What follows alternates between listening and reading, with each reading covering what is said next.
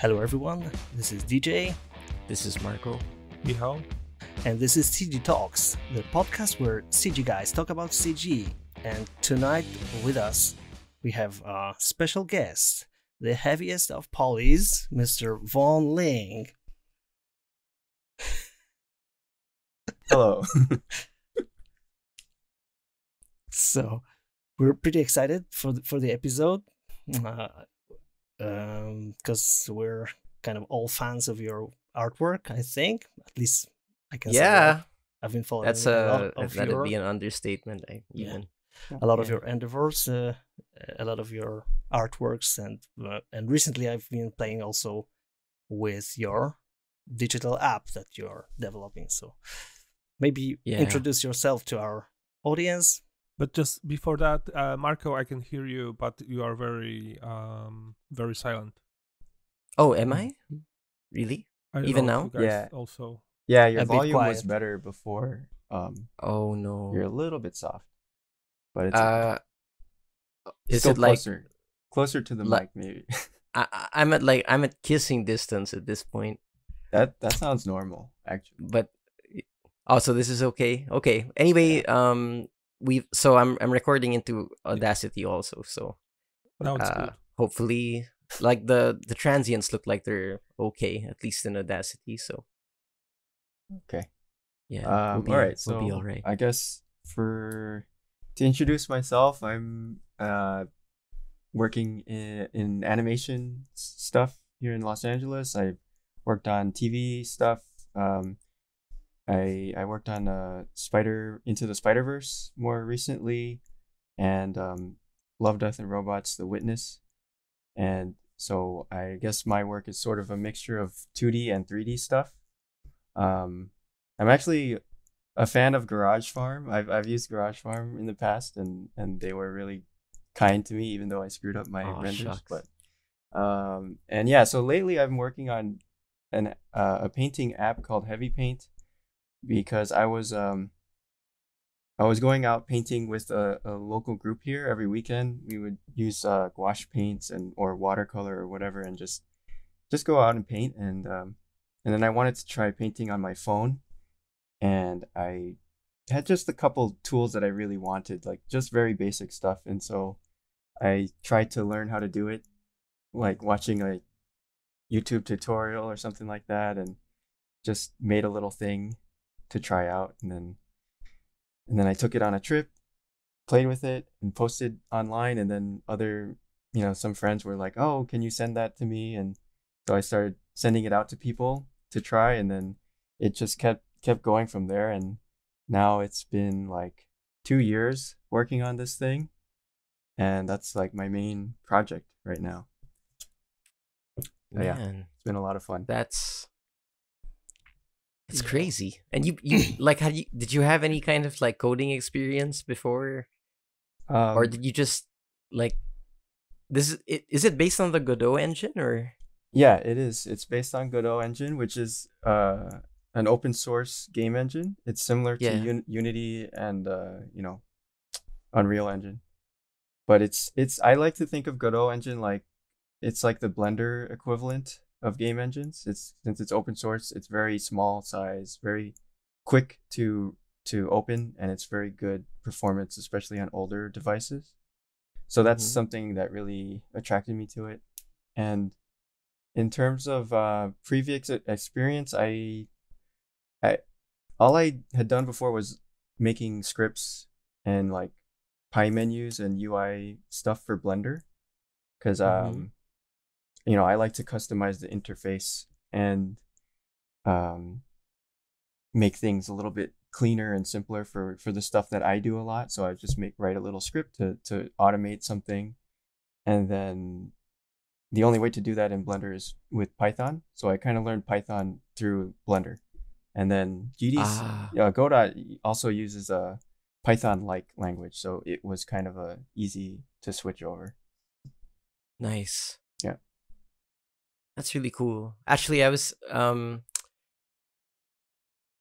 well, I I had a few questions lined up, but that that basically answers a couple of them. But then um i uh yeah like i noticed like in in in your work it's like that that that sort of seems to be like a like a recurring theme i like i don't know if it's um if if it was deliberate or or or it just comes out but but it's like there's a lot of elegance in the stuff that you do like it's especially especially in um your 2d work like i really like how you're able to to create something readable um with seemingly like uh like really concise like strokes.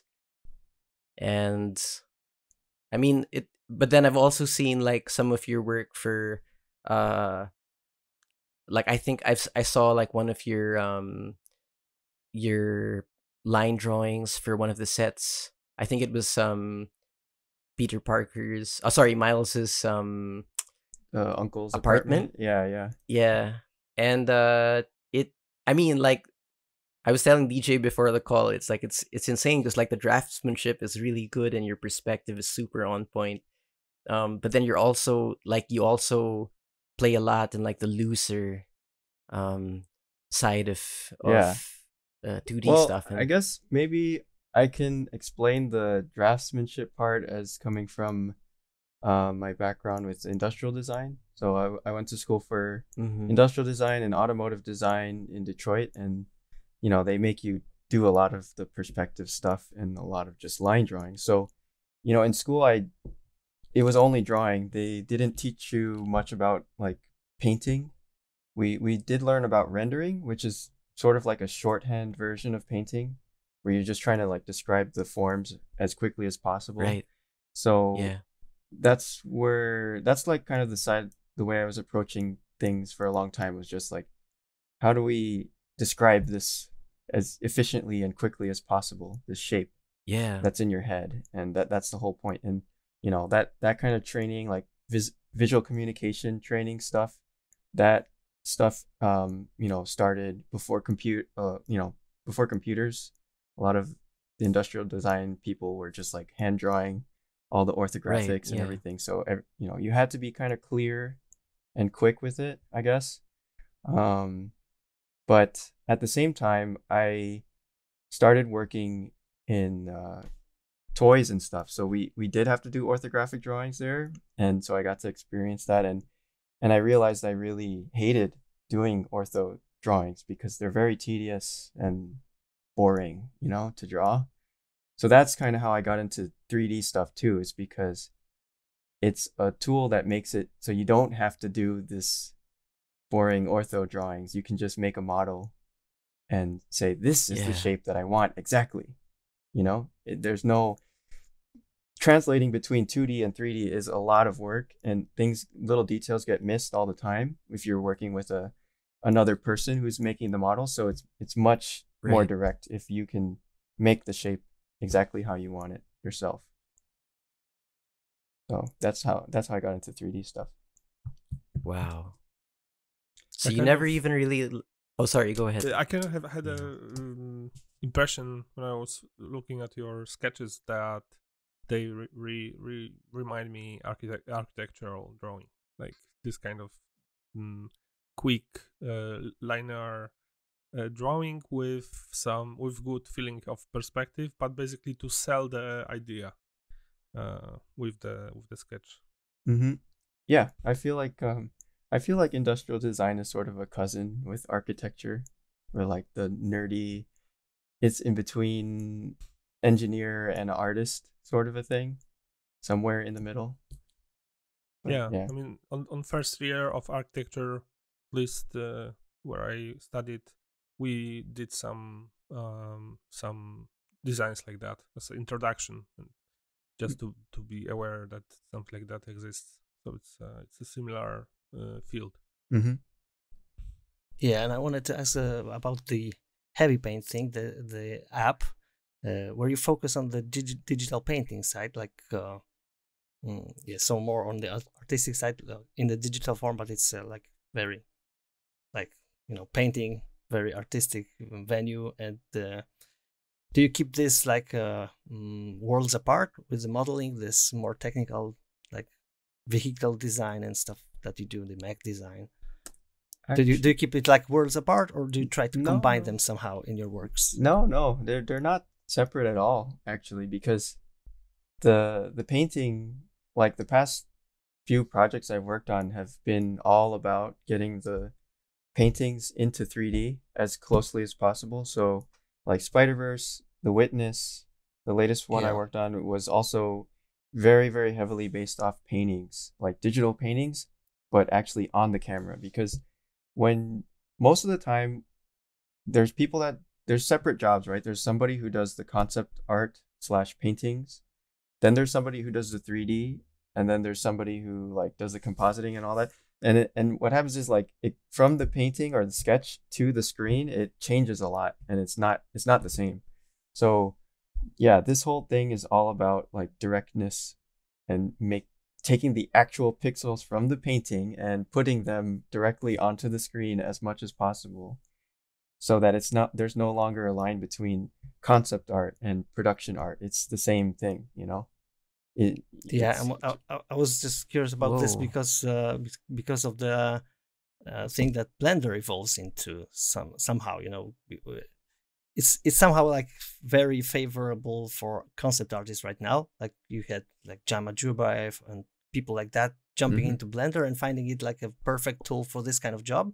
Mhm. and it kind of starts to incorporate a lot of tools like like you mentioned uh, you know the grease pencil that's developed as a 2d 3d mixture and all of these things uh, that can be yeah mixed together and done in a one, one single package and mm-hmm. cre- just creatively used yeah blender's blender's pretty amazing and i'm sure you guys know that because you deal with blender a lot and like Heck i'm yeah. i'm guessing that probably the past year or two you've seen much much more blender activity happening for garage farm maybe Uh it's growing it's growing Yes. it is, yeah, it is. When, is. when it comes to number of customers, yes, but not especially for the size of the projects yet. oh okay so Yeah. it's Yeah. mostly like, It's like- hobbyists and smaller Yes. people and shit. mhm. it seems that way Okay. yeah but i mean like i on personally i think the fact that we've seen such a huge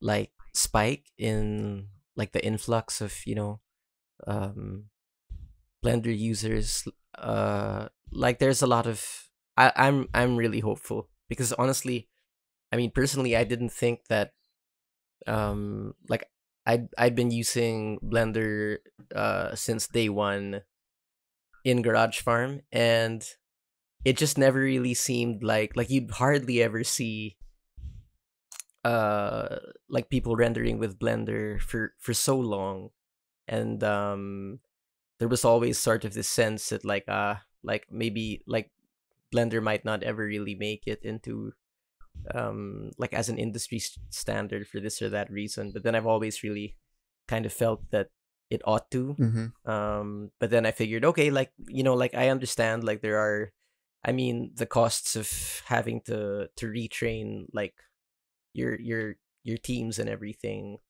outweigh the benefits of you know yada yada yada and so i figured like yeah i mean i'm sure there are practical like constraints and uh maybe maybe it just won't happen and then 2.8 came out and then it just kind of exploded yeah. um and it's been picking up momentum since and it's yeah it's really great like i'm really i'm personally really excited and i think it's only a matter of time before like we start seeing uh we start getting like really really big customers rendering in blender um over at the farm Yeah, yeah, it's definitely a long journey for for those kind of open source projects, but I'm, I'm glad Yeah. they're making it now. Gives me hope too know, with my little it's- project that maybe someday, you know, it starts out little, but you just have to have patience, I guess. yeah i mean like just based on on everything that's because i've yeah like based on based on a lot of like open source stuff that's been out there for some time that's getting like huge attention now i think i think it's almost safe to say it's just a matter of time Yeah. um But yeah since you worked with uh, on Spider Verse project, so you work, w- w- you have a experience in working uh, with a professional studio with a very professional project. Uh, do you uh, suspect or or know what are the reasons why uh, many studios are not treating Blender yet as a, as just a normal part of their pipeline? Well, are there, are there- I think it's a I think it's a process because um, well, what's happening now I think is a lot of the concept art departments are getting introduced to Blender, and that's like where it has its first entryway because you know the concept art side, you know that that doesn't require changing the entire pipeline yet, if just a few Right. VizDev artists are using it, which is like what I was doing. So like they don't mind me using Blender because their pipeline stays Maya it stays intact, like they don't have to change too much. But I think eventually once you know more people slowly it starts trickling in and people are like, "Oh wait, it can do this stuff that we can't do. Maybe we should try using it." But it it is very difficult though because it's like it's not just a handful of artists, it's like an entire building full of artists that are all using Maya, right? So Hmm. it's not easy to just say, "Oh, throw that out. Let's try something new today." But Yeah. Yeah. you know, it's it's probably going to take a long time. Or the other option is probably what I think will happen is a lot of smaller studios that are starting out will will be using it, and that's how it'll like start to gain a lot of momentum that way when small studios make successful projects with it. And uh, yeah, I'm thinking yeah, I'm thinking that it's also the the game development uh, department, like the the whole industry, is a little bit more like on the edge of experimentation on many stu- uh, many stuff like like software use for example, like if you take a look on on on the game artists forums or or just in even you know work um, mm, like positions that are and requirements for positions for for game uh, game artists. There are a lot of a lot more blender you know related jobs uh, postings or stuff like that. And yeah, i think that's that's because it's yeah it's a little bit more open. It's and like you said the, about the concept art department i think it's also a little bit more yeah open for experimentation like innovation and just yeah, yeah. It's more flexible because it doesn't have to Mhm. fit into the giant machine directly, you know. so Yeah. you can kind of like float around outside it and not. I was threaten it. pretty I was pre- pretty surprised by by one of the Blender conference uh, announcements where where the guys from from from a car designer uh, department, you know, in one of the companies said that Kiss- they were Kiss experimenting. Yeah, yeah. I've uh, I've I've uh, I know Koenigsegg, I think was using Blender. You know the supercar people, and um, you know Honda's been reaching out to to try to every uh, they're all trying to just do the do it, you know, the most efficient way with the least amount of money, I guess. So if Blender is that tool, then everyone will eventually go there, I guess. But uh, yeah, it's it's on the way. It's on the way, definitely. I think. Yeah, exciting Yeah. times. What about um like how's your cuz I know you also do uh or I'm not sure if you still do it now, but do you still like do like Blender training, like corporate Um, training and yeah, Blender, yeah, with yeah. I've I've done a few. Like I I was I did a little workshop at DreamWorks TV a couple of years ago. Um, I've done little workshop. I did a modo workshop at Trek Bicycle, so I've tried to do a few of those over the years, and um, and yeah, teaching online also has been sort of a big thing for me too. Um, especially, uh, you know, I mean, it's nice because I it, allow, it allows me to be more flexible too with my schedule, and I can, you know, also work on these side projects like heavy paint. So you know, if I was um, doing a full time thing, uh, there's no way I could, you know, do this side project at the same time. So, yeah, Yeah, for sure. But man, that's that's really cool. Like how how um did you notice like any more like did your did the number of um students, um, like have more corporations like reached out to you since 2.8 maybe or well, I mean, it, and uh, yeah, Yeah, students too, you know, for for for me it's yeah it's been good it's been not like a huge explosion for me but i mean it's still going It doesn't seem to be slowing down at all so I, it's good enough for me at least Nice. Yeah. Wow, that's really cool.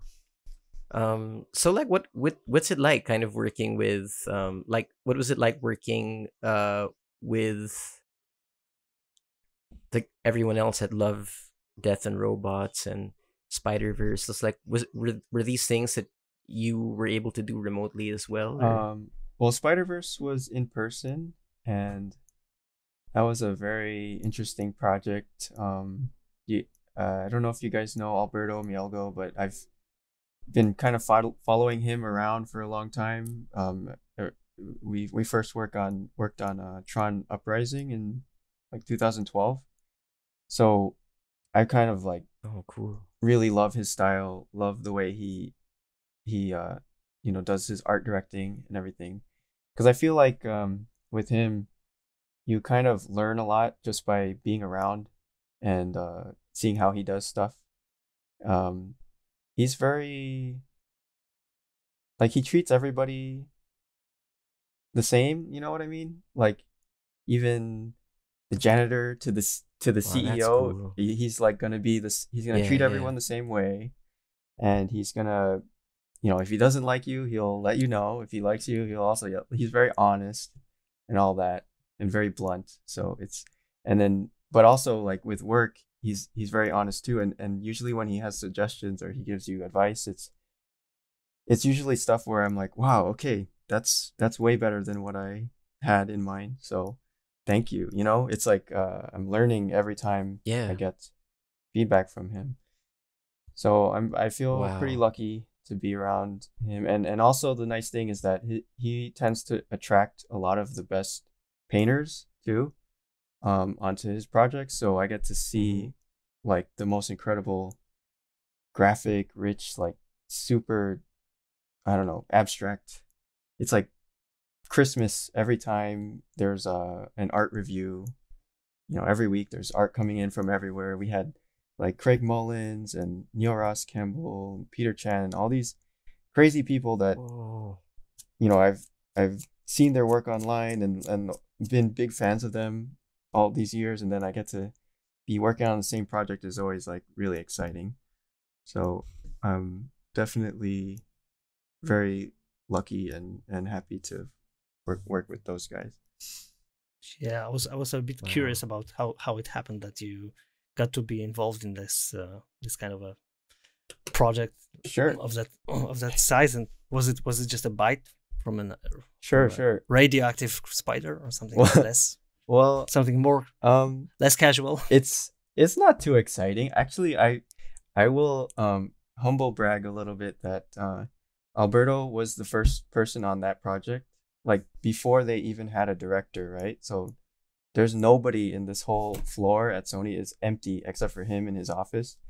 And then he called me and said hey you want to work on the spider-man thing? I went there empty office. He showed me the paintings that he was working on and and i was like okay let's do it.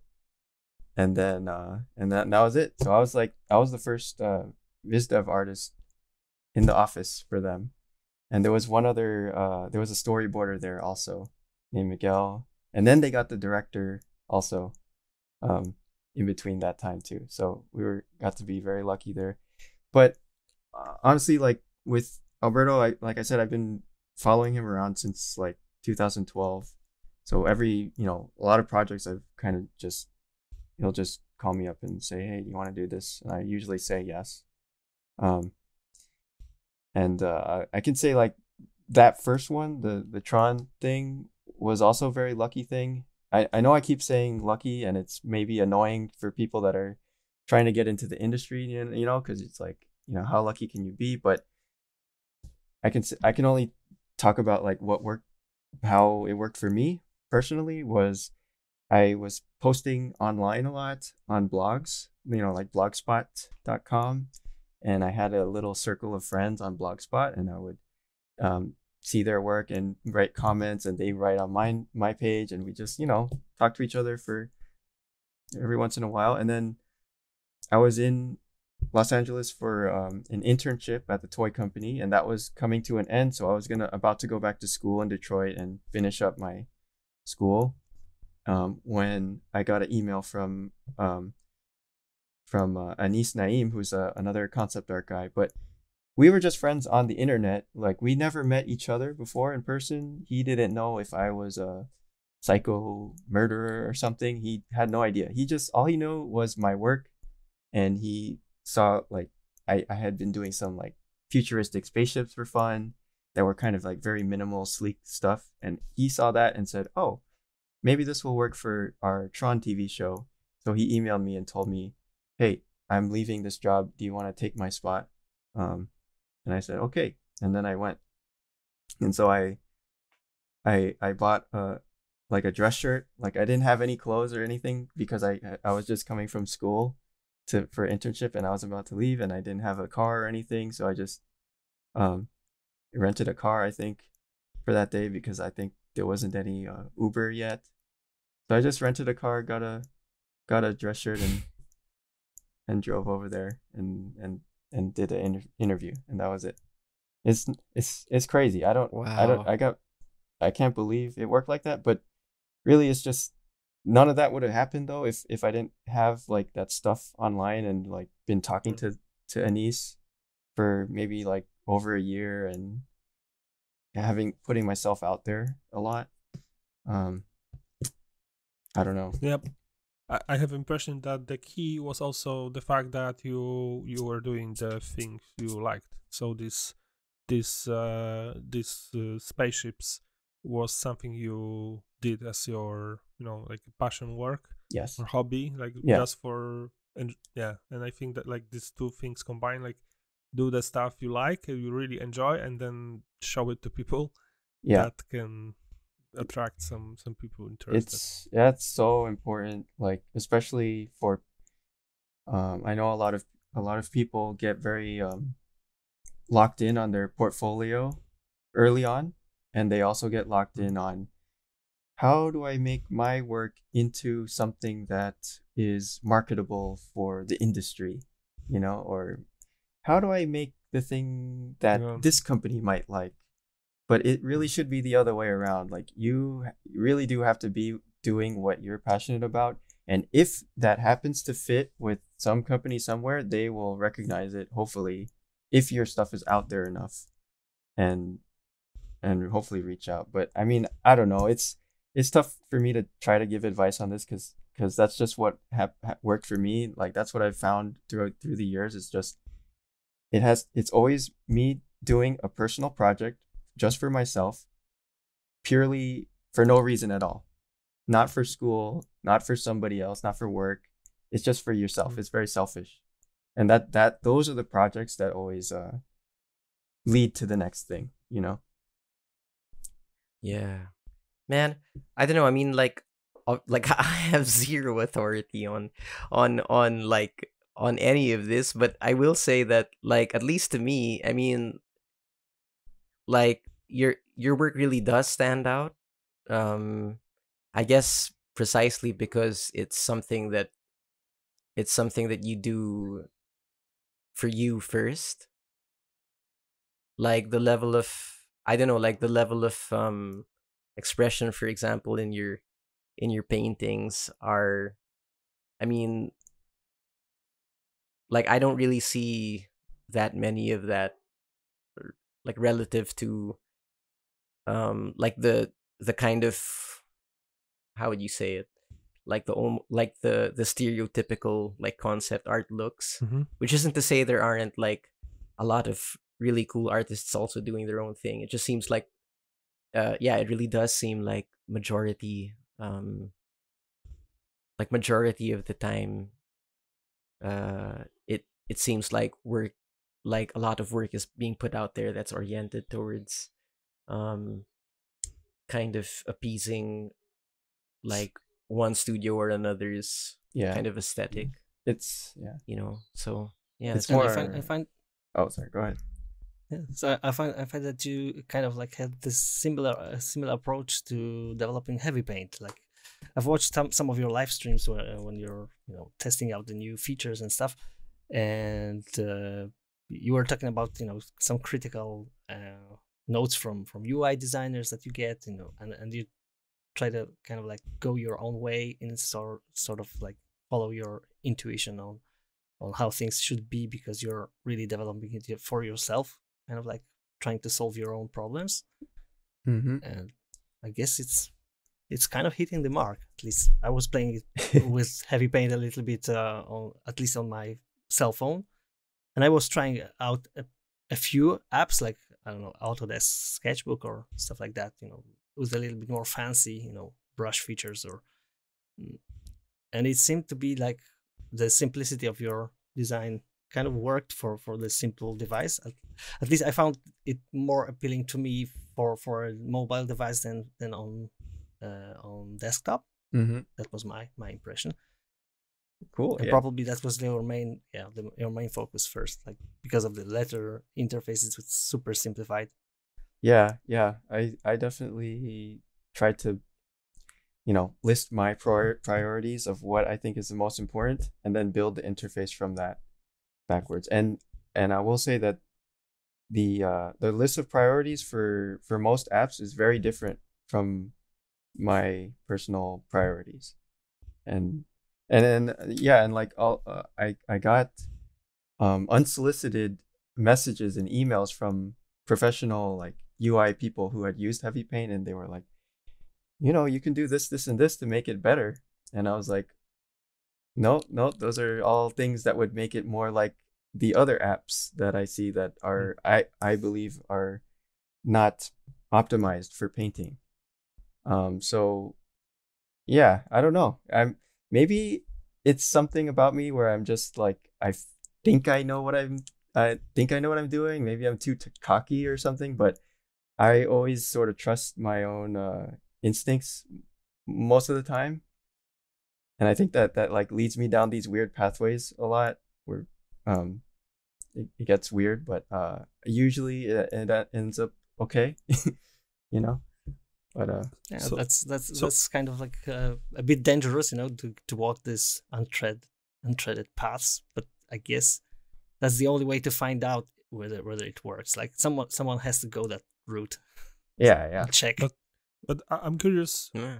And it's clearly working I'm, for I'm you, curious. right? wh- uh, what are these priorities for this app which you mentioned? What what's the most Um, important? Well, number one, when you're painting, is you need to be able to pick colors, mix colors. Mhm.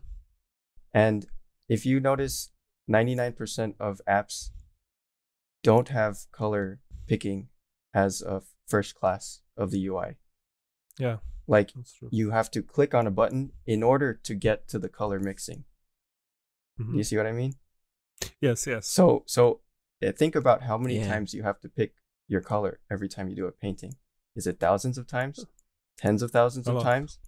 Right? Yeah. Every single time you have yeah, to do an extra sure. click to get there. That adds up very quickly.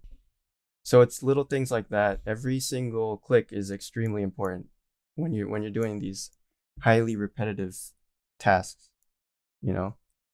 Yeah, it's, it slows down the whole loop. Yeah, like, yeah, exactly. It's, yeah. So so you start to think different way a little bit because it stops the that this do- doodling mode in your head. Mm-hmm. But I, Yeah. I'm I'm not a saying that those apps are wrong. I'm saying that they have a different list of priorities. Mhm. Like they work properly for what they are trying to do, which is probably to be bigger. Like they most apps are much much bigger than Heavy Paint. They have more way more functionality. They have like selection tools. They have uh you know calligraphy and illustration stuff and they have like auto shapes and things, pen tools. There's just so much more functionality that you can't like you can't fit it all. So you have to like uh decide what's the most important and I I, I guess like you know, they have to choose pick and choose what they want to highlight and what to make big.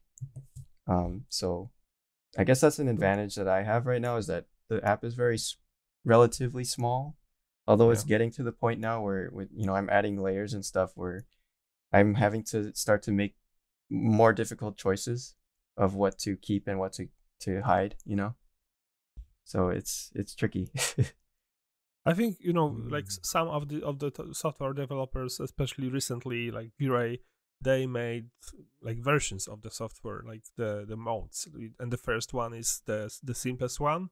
You don't have to go into these more complicated options. so it's you know like so it's compact it, it's it's fast i also noticed that your uh, your your app is very very fast and i wouldn't be worried. At some point i had some problems with krita that you know installing more and more software on my computer. At some point there was there was some problems with uh, with um, um, with the responsiveness. Not um, like very, very little very little from from times to times but it's it's destroying the whole the whole momentum of of painting Yeah. so and, and I noticed that your I, I unpacked your um, uh, archive downloaded from your website, and it didn't install the the app on my computer. This is just a file where I had to do a shortcut, right? So yeah, yeah. It's so is, is there any Yeah, specific reason for that? No reason. That that's just how Godot engine exports stuff. That's also how Godot works. Like there's no installer. Also, like Blender Oh. doesn't have any installer. A lot of these open source things don't have installer. Although I'm not open source, but I'm like coming from this open source thing, so they kind of just. And I honestly I like that way more because it's more portable. You can just put it on Yeah. a drive and copy it somewhere, and then you just run it. You don't have to install anything. Or Yeah, or exactly. Uninstall, right? Just delete it. Especially, for example, when, when you are a teenager and you spend time at your dad's work, and he doesn't want you to install any stuff on his work computer. yeah, yeah, totally. But I, I noticed there was there, there's one uh, tool that I haven't uh, uh, I haven't m- meet before. Uh, this is one of the brushes where you uh, you paint with the brush and it kind of like creates some kind of uh, um, like a shape which is following your mouse, but it's Mhm. not really drawing. So what what's the what what what stands behind the idea of this brush? Why wh- Uh, what is it for? Are you talking about the the fill brush where you you draw a shape and it fills it in with color? No, no. I mean it. Um, it um, it creates. Uh, um, you can choose different shapes, but it creates something like. Um, oh my god! I forgot the word in English. Like a Um, lasso, the- kind of it. Uh, the the stuff the stuff with, for example, Comet Comet has. Uh, Oh, uh, Same. like a trail. type? the- yeah exactly and or and when you when i so so first i used it so i thought that this is kind of like more or less randomly drawing the line but i noticed that this point where i started drawing that that part is actually moving and it's it's like this um Oh, like it's stretching, right? It's stretching. Yeah, like stretching, but kind of also but also but also moving right i mean i i think i noticed that uh, that that point where I, where I started drawing uh, in that in that place it, it moved out from that place Yeah. Well, what's happening there is um, I have uh, a mode where the texture, the brush texture follows your stroke and it stretches out. So, um, yeah, as it stretches, it stretches along the length of the entire curve. So it it might like sh- seem like it's shifting a little bit, um, Mhm. depending on Oh, yeah. which texture you use. If you use a texture that like doesn't end right at the end of the border of the image, then it will seem to shift a little bit because it's Oh. stretching. But if you use a texture that's like going right up to the edge of the image, then it will stay like locked on that, you know, Oh. bit point. But uh, yeah, everything is based off points too, or like vector kind of based. It's it's it's similar to grease pencil, I guess. It's in it's like sort of like 3D geometry ish, and I think that's how um, I think it it runs pretty quickly that way, like uh, because I think a lot of apps tend to do like a repeat where they they take a texture stamp and they repeat it along a curve but Mhm. my my method is more like just stretching one texture along a curve um or you know playing with the uvs to get weird random stretching effects. And uh i'm trying to be efficient about it but it's tricky. But the one benefit of that too is that you can draw something and because it's all stored as points in strokes um, that means you can re like you can rebuild the canvas at any size you want. So you can say like you know i drew it at 320 by 320 i want to render it at 1920 by 1920 because it's just like a 3d model you know Wow. Um, and so you can go back and forth, you know, and no no loss in quality, which I think is cool. And I noticed that there is a left-handed mode, Yes. which I I'm I'm happy that we are in the same the same Yeah. uh, sect. Yeah. We will take over the world one day. one Right. day. Right. I think. But uh, I, I was gonna say like I don't know about you, but I I feel sensitive to UI, maybe because of being lefty. Because all throughout our lives, we are presented with things that are a little bit off or like not correctly designed for us, right?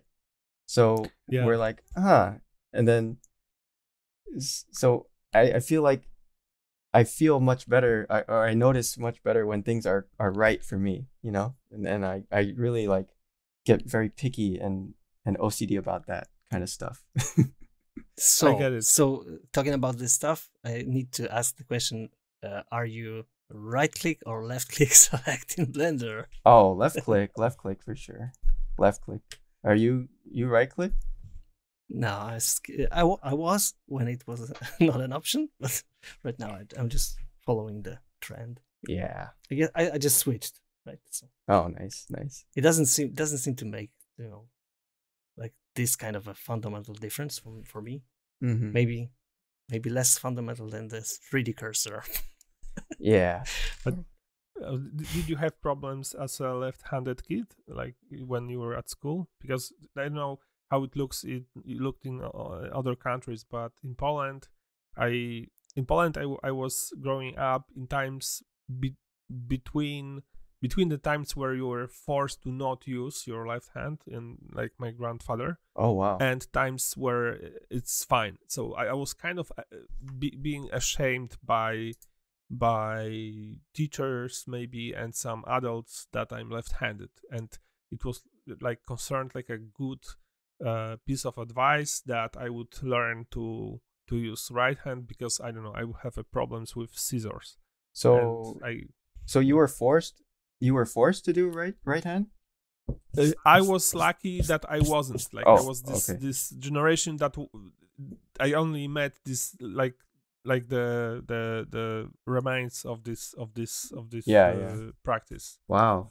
Yeah, that's that's amazing. Uh well, well I, I guess yeah, we I, they didn't force me to to do to do righty or anything, but yeah, there is that still there is the still like, you know, left-handed is for the devil and all that stuff, right? It's it's still there a little bit, which makes sense. It it practically it makes sense if you're trying to make a, you know, a nice smooth society. You want everyone to be using the same hand. That way we ha- have to design half as many products for half as many people, right? You know, it's it makes sense to Yeah. standardize that. Um, You know, in in time in time I grew up in times of communism in Poland. So in these times, uh, there was you know there were no private companies that would create some stuff for left-handed. So people were people were adjusted to to the products rather than yeah, the, yeah, the other way. The, the only the only I, I I have never thought actually about uh, how being left-handed um, is affecting my the way I'm using graphic us- user interface in on computers, but actually buying my first tablet for drawing was the problem. Like uh, all the all the buttons were on the left side Oh, And- right. and you know like so how can i like lay my hand and to draw without uh, uh, pushing them Yeah, that's true. That's true. but also notice that when i was i, used your uh, your application and yeah I, I i haven't spent enough time with it to really understand the whole whole ui but for sure it showed me that at least I've, in my in my case I, ha- I have a lot of um, habits because I was in some cases I was looking for some options in places where they were not located.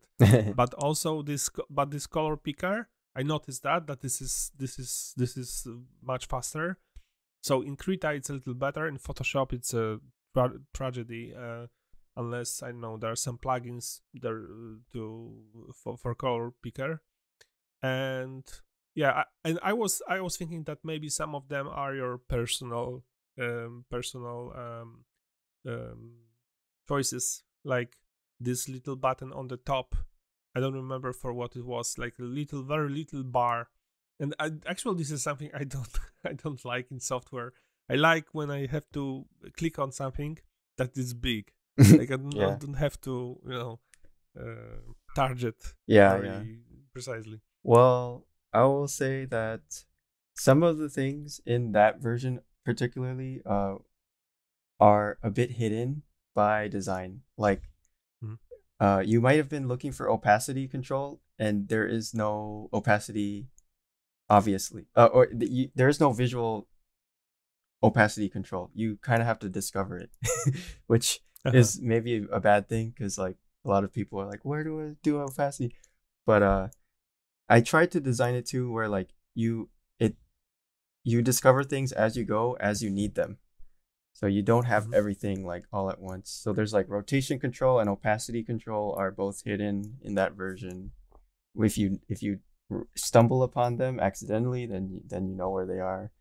And like that little bar you're talking about is just to like move move the the interface around. I don't I don't know. It's just like yeah, some some of the stuff is a little bit obscure, but the the newer version will is I think I'm a bit compromising more compromising on the newer version where I'm trying to make things a little bit more accessible and less cryptic because I know maybe it's like not not great to to be like purposely confusing people you know you want to That, that- that was you did it on purpose to confuse. Mm. To confuse. no no not to purposely confuse but to purposely No, hide I- or Oh. to purposely withhold things at first be, so that they don't get overwhelmed you know Mm. because I, I also think that opacity control is like is really bad for digital painters i think it ruins a lot of digital painters Mhm. especially when you're starting out because you don't ever learn how to mix colors if you're using opacity all the time Yeah, I'm, I'm, I was Yeah. wa- wanted to ask about this. Uh, Yeah, I was whether oh. you're fully digital right now with artwork or still kind of like play with the traditional medium somehow because I found a big difference between uh, the digital artwork and the traditional artwork is that the lack of undo in the traditional medium like mostly it's it's some it seems like a like a like an obstacle somehow but it also kind of helps you you know because what uh, uh, at least I, that's what i love about the ink drawing for example. I i do ink drawings sometimes even without you know without a pencil under sketch or whatever just to have this line where i put the line on the paper it's just there and it has to stay. And it it kind of teaches you to to be more decisive when when drawing. I totally agree, man. It's like, yeah, there's no undo, undo, but look at look at all these people that they they turned out fine without the undo, right? Like Leonardo da Vinci, he was fine without undo. so like, maybe maybe it's better to not have undo. Who yeah, knows? think about the the sculptures in in, in marble right Yeah, Yeah. just chip off and it's gone yeah. I was actually wondering if like your if if um heavy paint like sort of is designed to follow like the a more yeah, like traditional medium Yes, philosophy. yes, for sure, it was. If I mean, like sort of I said, I were was going for. doing a lot of Yeah. gouache painting outside with this group, and that's like how I was thinking. It's just gouache is also very much like. eh, I mean, it's pretty like you can't really undo too much with gouache. um, it's not as bad as watercolor, but yeah. Yeah. Uh, so yeah, it's it's very. I I, I think a lot of uh, traditional painters have been attracted to it for that reason too, where it's like, it's sort of similar to regular painting, um, and even the early versions didn't have an eyedropper Yeah. and didn't have undo, and people were really into that. You know, you're like, wow, it's so it's so scary. And yeah, I can imagine. Yeah. but and then but i you know what i found too is like i've been i've been working on this layers version for the past few months like a, a complete rebuild from scratch of heavy paint and i tried to add in layers and eraser and masking and all these features that um, i wanted for like production stuff and it worked fine for production stuff but then just now I'm starting to realize, wait a minute, like I am not having as much fun painting with all the layers and extra new features that I spent three months on. What do I do? You mm-hmm. know? So now I'm thinking, man, man, maybe I should just have that stuff turned off by default. So it's like a, a different mode, like you were saying, like you have a production or full features mode, and then you have a just regular painting mode, just for so you can enjoy it and like focus and be in the zone Yeah. because the layers actually does like it takes you out of the zone transforming moving things around takes you out of the zone because then you're not like you're not drawing for your life you know like drawing like your de- life depends on it because if you screw up you're Yeah. you screwed up Yeah. yeah the stakes Stakes need are much some lower. stakes right? i Yeah. think yeah yeah it's uh Yeah, for So sure. it- this is also the process of learning. Like if you have undo, especially if you are like some kind of more perfectionistic person, like compulsive, I don't know, obsessive compulsive, you can really get stuck uh, on trying to make this perfect line and undo undo. And yeah I remember when we were drawing, for example, at college, and we we used uh, pencils, so you could always use the the the rubber Mhm. but um, I not I remember myself and also especially some some my colleagues that they got so frustrated with not being able to draw something that they would press the pencil harder and harder and harder or, or at some point you were not you were not able to really uh, you know like erase it. Mhm. so they would take some bigger uh, bigger pencil or uh, like more um, more less hard pers- pencil. And it, it at some point this there's this and they press it so much and draw over the existing image uh, drawing so many times that finally they had this shape and it was like this shape was like heavy from from the from coal and yeah but it Yeah. would uh, it would have like this very nice uh, feeling to that because you could see that that work in that image and of course and in terms of, in a, in, in a longer shot you learned something on this because you i mean if like i had this problem with i remember my teacher told me that i i i, I had an order from him that i'm not allowed to use the rubber for eraser for for like first two hours of drawing or, or on one hour Mhm. be- because I would, uh, especially at first when I was learning, I was uh, attending some lessons. I would just, I, I think this is this is like um, habit of many hobbyists or like kids from from school, like I was, that that you think that this using the eraser is very important to to make this perfect shape or a shade. And she told me, no, no, you shouldn't do this. And, and at that's- first, my my images when I stopped using the rubber, they looked terrible. Like it to look like I'm um, some mm-hmm. kind of special kid, you know, Okay, like yeah. drawing. yeah Yeah, but after some time, it's like re- rewires your brain when when you you are doing this that way. Yeah. You yeah have to learn to fall. You have to learn to fall. Just like you're learning, you know, judo. The first thing you learn is how to fall, right? How to Mhm, fall. mhm. But for example, but for example, right now because there is Krita, for example, so uh, if you would like to, you know, uh, advertise your software, what's the mm, upper hand of, of of your application of Ah, HeavyMind? That's that's so difficult. So difficult for me to say. I feel like Hmm. I am the worst salesperson in the world, or close to it. So. I, I I'll, I'll say what, what what other people say about it is that they like that it's much. It's very simple. It's very direct. It feels like traditional. There's not. It's not very overwhelming. But what I take all of those things to mean and, um, and some a lot of people say it's fun actually but those words aren't like super descriptive of what is actually different about it and to me i think the the technical side of what's what's different is is again it's the priority of stuff like arranging th- stuff and also it's it's kind of difficult to to compare krita to heavy paint because heavy paint is um you know it's on mobile and i don't know if krita is on mobile yet or is it I don't know. because yeah desktop and mobile is, is kind of a whole nother animal but I it's okay, heavy paint is only a few tools, but like very finely crafted, like very refined and made to be super enjoyable and just nice. I don't know how to explain it properly, but uh That's true. I mean, the closest the application is to real drawing, the better. The the, mo- the better it feels to use it.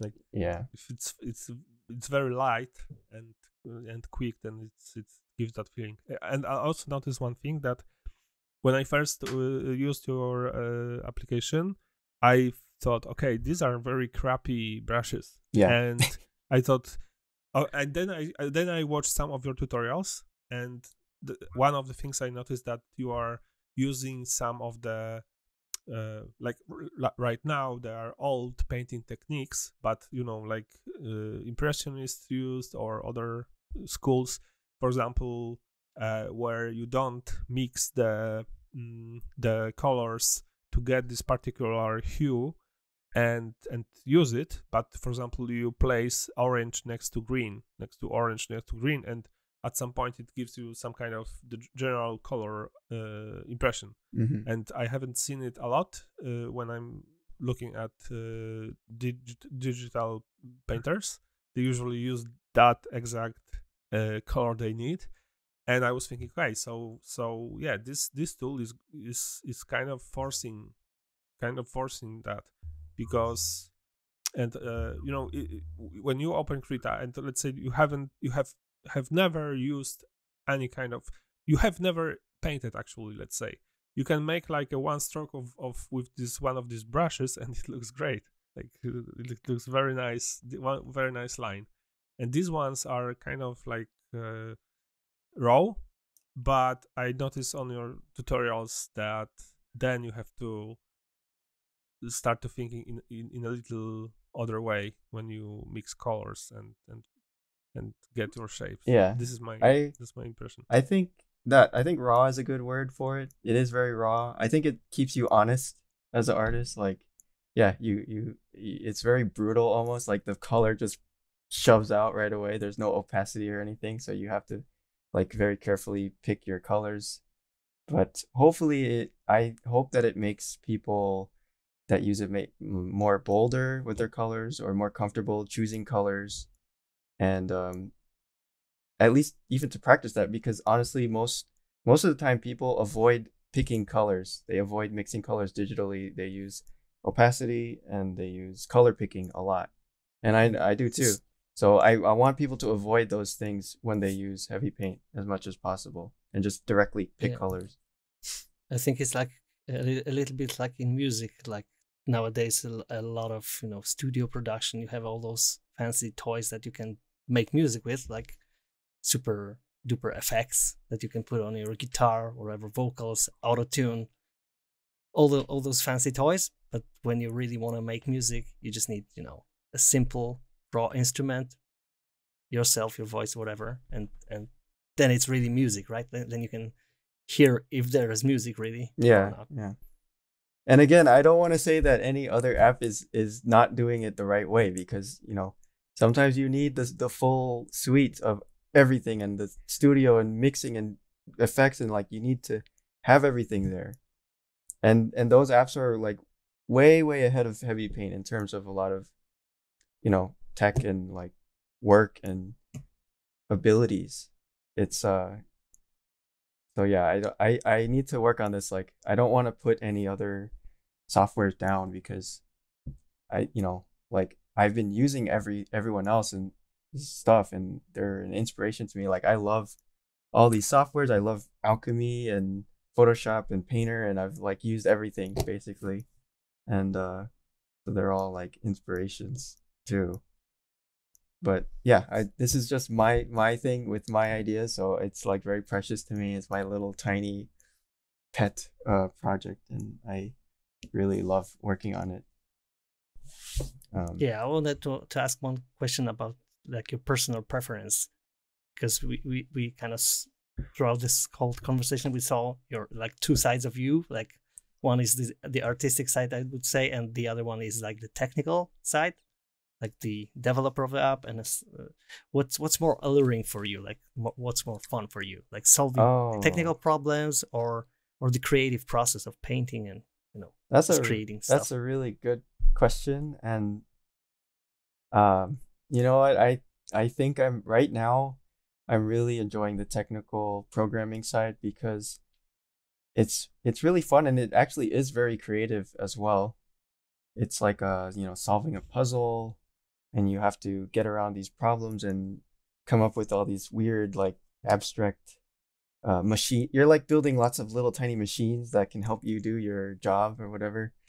Uh, which I'm sure you guys know, like running a render farm, you're like automating a lot of stuff, and it's very exciting when it all works finally. So, I really, I really love. I'm loving programming now, and I've always had a side. You know, even from when I was really little, I I, I always thought, oh, I want to be an engineer you know, my, my uncle was an electrical engineer, so I wanted to be, you know, maybe I'll be an electrical engineer. My dad was like a, a self taught programmer, and he would always be showing me, like, hey, Vaughan, look, this is the internet. Wow, isn't this cool? Or, oh, this is Linux. I'm like, wow, Linux looks super lame, dad. That's so boring. and so, but now I feel like, wow, okay, it, it is kind of exciting. It's pretty cool maybe that that is a side of me that just now is like finally coming out so i'm happy to have discovered it i guess but at the same time i noticed that i will go through phases a lot where i sometimes i like 3d sometimes i like painting sometimes i like drawing and i just like go in a little circle all the time chasing my own tail and that's how i keep myself entertained i guess um, Wow. so I like everything pretty much. But right now, no idea yeah. how th- that is such a that is such a reassuring thing to hear because that's that i think like personally that's my that's my like regular struggle it's like um you're spending too much time on like the 2d stuff Well, you haven't really I you haven't really done how- anything in 3d how for how so old are long. you though? Right? How long do you have to live?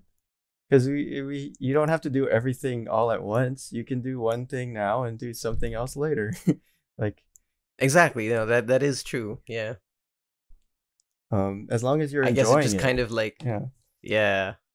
I mean, like this is gonna sound super like uh I mean, not meaning to be a downer or anything, but I guess like no, I, or I don't know. I think like just honestly this whole like the whole pandemic thing um like people around me have like you know like like I think I think most of us have have uh or may have like lost or almost lost someone to the to this whole thing and like it kind of it basically this like this this last year kind of really introduced a lot of um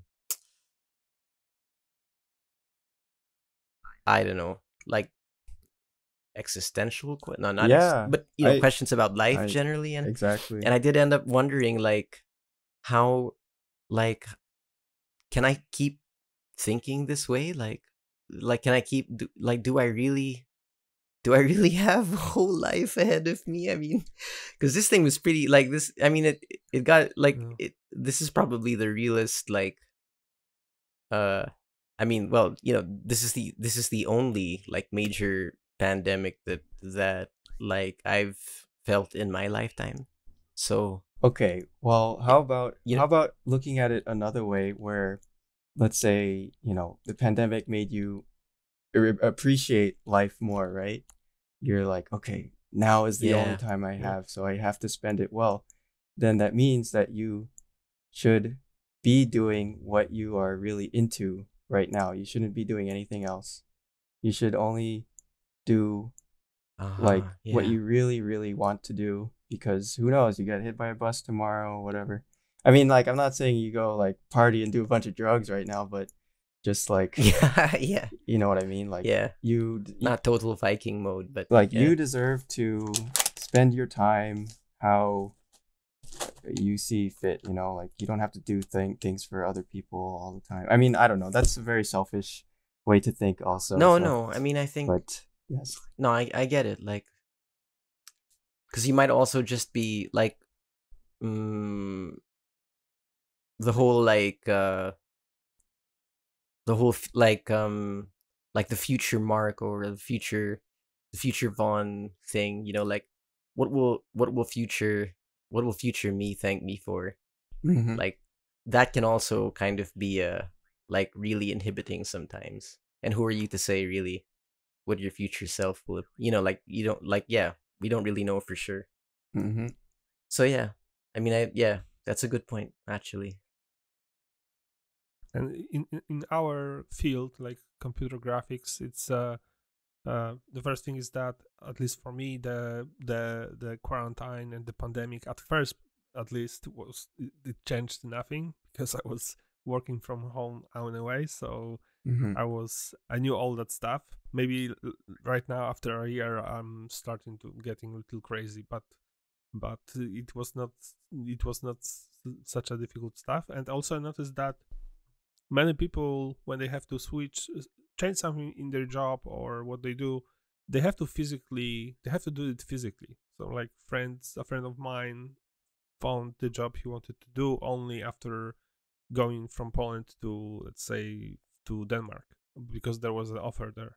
And for example if you want to ch- try something you need to go there physically. And uh, like when you are a CG artist, the op- there's also almost too too many options. Like there's so many similar fields mm-hmm. which you can try and evolve to, or that it's just you know a matter of of uh, downloading I don't know ZBrush dem- demo or or DaVinci Resolve uh, post production uh, coloring. So it's it's very easy I think in for for for people who work in our in our area. Yeah, we're to we're pretty lucky. Very lucky. So, by, by the way, we had an interview with Cheyenne Mondal, and I think he, he, I don't know if if if DJ you basically you are looking for such guests, uh, but he had a very similar approach to yours, like, um, The, the was kind of the kind of renegade path, right? quitting quitting school and following your dreams. Like, like so uh, uh, uh, jo- joining the, the the the coding the the creating software and um he's actually creating uh, the procedural uh, materials and being an ar- artist Mm. uh I think this is something that a lot of people would envy you that you can create your own painting tool like uh, also like sometimes I I use Krita and also I had I would have ideas what what would be useful like more realistic uh, like uh, colors the the paints being being mixed on the canvas in a more realistic physical way Mhm. like the the the watercolors have their way because you know it's like almost the water can suck can suck the neighboring color into the the the the the uh, yeah, mm, the the the stroke. other one yeah it's and pretty pretty advanced. So now you can now you can just you know join the beta testers of Heavy Paint and just contribute your, Yeah, I'm open to your suggestions. observations. Um, I don't have impression that this software that it's it's going this way. Actually, I, I wanted to do a- an experiment and, for example, use um use some uh, fluid uh, simulation in, for example, in Cinema 4D, create a real pencil and try to paint this way to to Oh, wow. simulate. Uh, like I mean, this kind of feature would be very cool in in in drawing, in general in in painting apps. well, I have Like- you have you used that app called um Rebelle Painter? I think it's called Rebelle, like R E B E L L E. No. B E L L E. Because Oh that yeah. one's I mean I, I really good uh, you know, media effects like that, like well, fully simulated, everything super realistic. Um, so yeah, that one looks Yeah. pretty cool. it's one of those like real paint emulators, Mhm. right? Like that's that's what it's known Yeah. for. Like I I've also tried um Corel Painter.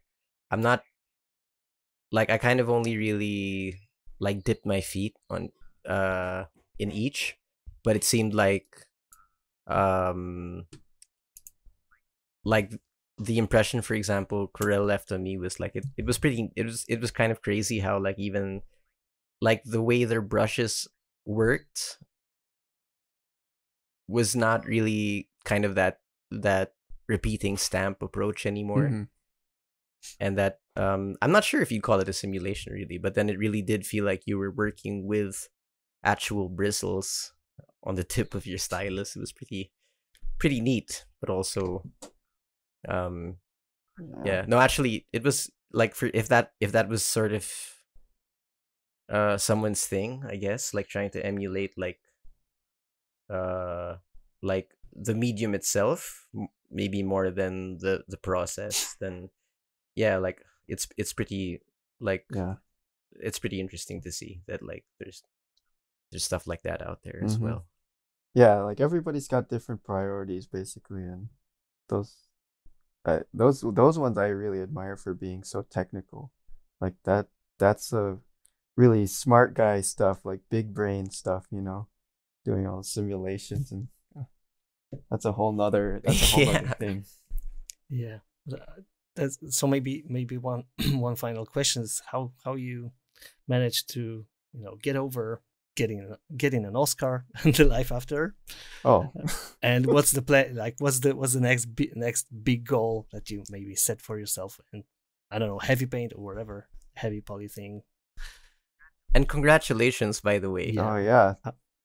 huge props Thanks, to that. guys. Um, well, I guess I, I uh, in terms of next goals, I wanna definitely want to keep working on this heavy paint thing. Like for me, aside, I consider this like my best project so far. Heavy paint, like, um, this is the thing I'm the most passionate about and and it's mainly because you know I get to see other people using it, and there's a lot of you know communication and stuff. Because usually I'm just by myself all the time working, so it's nice to like put something out in the world and see you know people interact with it, and then even something like this, like doing an interview about it, is really exciting and fun for me, and so yeah i i definitely want to keep going with it see how far it goes um play with it. But after that i don't know. I don't, maybe do a video game at some point. You know everybody wants to make a video game someday right? But But, Well, no. well, I don't. okay well yeah. I'm the only one. uh no i i think animation to me is very very difficult and and stressful and it's a lot of work. So it's a very tough industry that i've been doing you know animation stuff since you know 2012 so i think who knows? Maybe heavy paint is like the first step in a in a transition into other stuff or maybe i end up back i don't know. I have no idea but i try not to think about the past stuff too much. Just like honestly i wake up in the morning and i'll probably have an email from someone saying like hey there's a bug or like it crashed or you know one star review or something like that and then i have to go fix it. And so i don't have any time to you know think about anything too grand but but uh i, I do want to see see where it goes i'm gonna i'm gonna keep pursuing this this thing because i have a good feeling about it you know and i i, I try to tr- trust my gut usually and yeah so i'm gonna trust trust my gut and keep going yeah that's really cool Yeah, I'm, I'm, I will surely. And yeah, I be think, like- testing the the heavy paint soon because uh, recently I had like uh, a birthday present which I'm re- still waiting for arrival. A new drawing tablet. Like nice This kind of a display display tablet. You know, the fir- first time that when I when I will be drawing with this kind of a device. oh, I'm really curious about how it how it will work with uh, with heavy paint, right? cool So so some testing ahead. yay nice And hmm. I, th- all I think, well I think it was a really, really fun conversation. We're already over an hour. yeah So I guess we'll be wrapping up and went fast yeah but again thanks for went super fast. thanks for joining us for this episode yeah and uh yeah the real honor to have you here man yeah thank you guys for for inviting me on again it was um i'm really happy to do it and I had a lot of fun talking. I mean, like I I hope it wasn't too much. I I talking about myself is a little bit sickening sometimes, but I'll, I'll try. I'll try, No, try to keep it interesting. But uh, Yeah, I've, I've heard on your on one, that was definitely one of your live, recent live streams, like we were mentioning, you know, this this becoming talkative through a dentist operation or something like that, right? Maybe. yeah, yeah, you did. You didn't seem very tongue tied, right, during this Oh. conversation. So yeah. I guess it was really good. You know, I think you don't need any kind of operations there. So, Cool. All right, Or I'll I'll hold off on it. I'll hold off on the plastic surgery. Yeah, Oh, okay. Well, yeah. cool. So, Right. So, thanks a lot again, Thanks. and uh, for everyone listening, I guess this wraps it up. Yeah, So, we'll leave you we'll leave you you all in the the, all next the necessary links in the description. Of so, so you can as follow. always. You know, follow, like, and download Heavy Paint. Follow Vault's artwork if you haven't already, as I'm sure most of you people listening already know Heavy Poly and all the stuff around. Yeah. So Oh, maybe you'd like to. Maybe you'd like to uh, mention, um, uh, like where where can people find you? Oh, um, mo- mainly Instagram at Heavy Poly or um heavypoly.com is the site, and then heavypaint.app is the app site. Um, but yeah, th- that's the main stuff. Right, people. So All right. so that's it for today, and thank you all for listening in. And see you in the next episode of CG Talks. Hey. Yeah. I mean, see here, you. yeah. Bye. Uh, Bye. Bye. All right.